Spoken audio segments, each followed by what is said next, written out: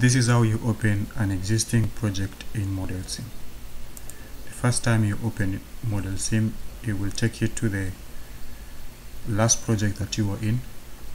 To open an existing project different from the current one, you go to folder and then you locate your project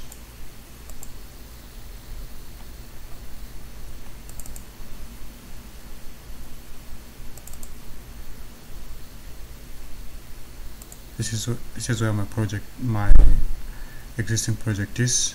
And then here just select project file. Then when you click into your project you you'll find the .mpf folder uh, file. Then just select it and then open. Click yes. And that's it you opened a new project you open an existing pro uh, project